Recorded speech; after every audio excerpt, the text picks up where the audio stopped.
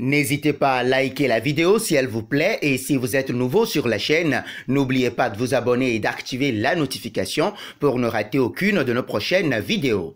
Commence.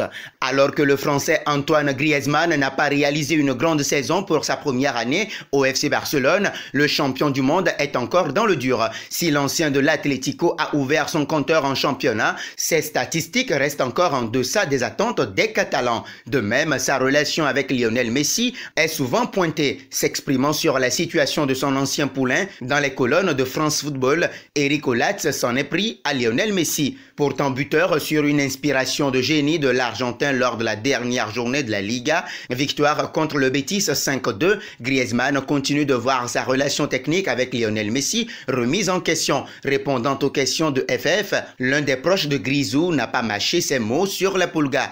Antoine est arrivé dans un club en grosse difficulté où Messi a des vues sur tout. Il est à la fois un empereur et un monarque et il n'a pas vu l'arrivée d'Antoine d'un bon œil. Son attitude a été déplorable, il lui a fait ressentir. J'ai toujours entendu Antoine dire qu'il n'y avait pas de souci avec Messi, mais jamais l'inverse. C'est le régime de la terreur. Soit t'es avec lui, soit t'es contre lui, a-t-il expliqué. Pour Olatz, Lionel Messi est donc le principal responsable de la mauvaise passe de l'ancien Colchonero au Néanmoins, celui qui a amené le français au plus haut niveau estime que Griezmann a les capacités d'inverser la tendance. Il a essayé de régler tout ça sur le terrain, rien d'autre. Il ne rentrera jamais en conflit ouvert avec qui que ce soit. Ce n'est pas du tout son truc. Et ce n'est pas un manque de courage ou de personnalité, c'est un épicurien. Il aime le foot et veut jouer, rien d'autre. Dès qu'il est sur le terrain, il est heureux. Il s'accroche à ça. Pour lui, c'est stérile d'aller au combat. Je l'ai vu traverser tellement de moments compliqués que je sais qu'il y arrivera. C'est le club qui est malade, pas lui. La saison dernière, à l'arrivée d'Antoine, Messi ne lui parlait pas, ne lui filait pas de ballon. Il a créé un vrai traumatisme pour une adaptation plus que négative. Ça a forcément laissé des traces.